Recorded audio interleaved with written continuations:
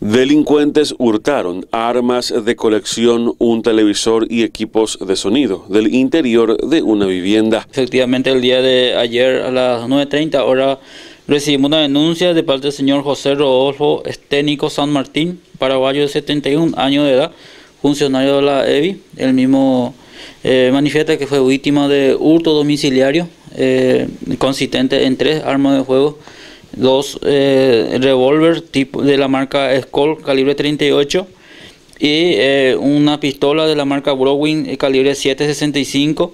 Eh, las tres armas son de colecciones según el denunciante y también un televisor de, de, la marca Samsung de 55 pulgadas y un equipo de sonido de la marca Sony un portátil. ¿y ¿usted conoce si estas armas tendrían un valor importante digamos en el mercado? Eh, la víctima no, no, no manifestó el, valor del arma, nosotros solamente especificamos las la armas para, para poner la denuncia.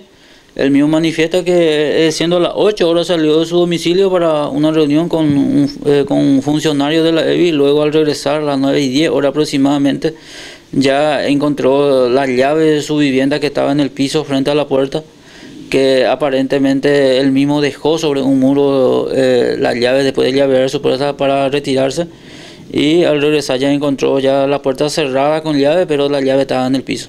O sea, ¿se olvidó de la llave allí o era una costumbre, digamos, posar la llave en ese lugar? Es una costumbre, según manifiesta, que suele dejar sobre, sobre un muro, ya que eh, salió de su casa por un, por un, un lazo corto. ¿no? Por un lazo corto. Mm. Y al regresar ya, eh, al entrar en la sala, ya, ya se percató que el televisor ya no estaba más, como así el equipo de sonido.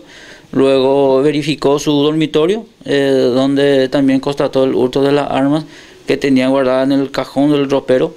Y del cajón de la mesita de, de luz eh, también fue hurtado dinero en efectivo, la suma de 400 mil guaraníes. Eh, oficial, allí en la casa hay cámaras de seguridad que podrían ayudar a la investigación. No, el, la víctima no cuenta con cámaras de circuito cerrado.